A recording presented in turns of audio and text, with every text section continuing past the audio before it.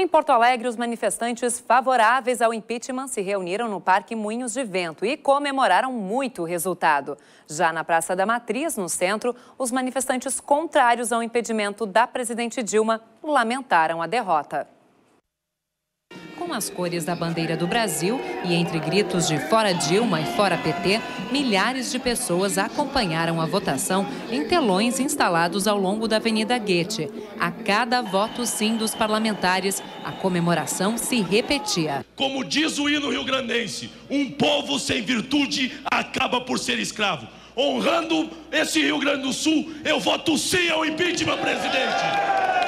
A votação da bancada gaúcha ocorreu logo no início da sessão e dos 31 deputados federais do Rio Grande do Sul, 22 votaram a favor do impeachment da presidente. Pela liberdade e pela democracia! Por isso eu digo ao Brasil, sim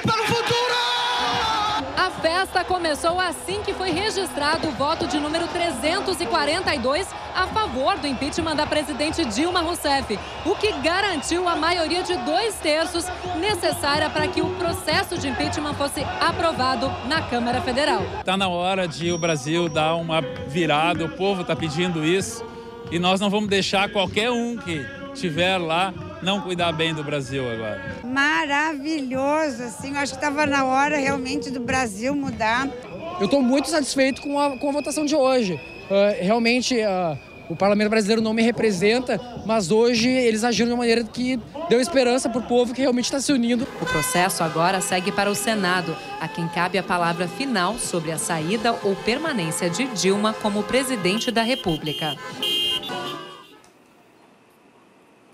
Tristeza e de indignação tomou conta da Praça da Matriz, no centro histórico de Porto Alegre, onde os manifestantes a favor da continuidade do governo Dilma se concentraram. O público acompanhou voto a voto dos deputados em Brasília através de telões. E a cada sim pelo impeachment aumentava a decepção dos manifestantes.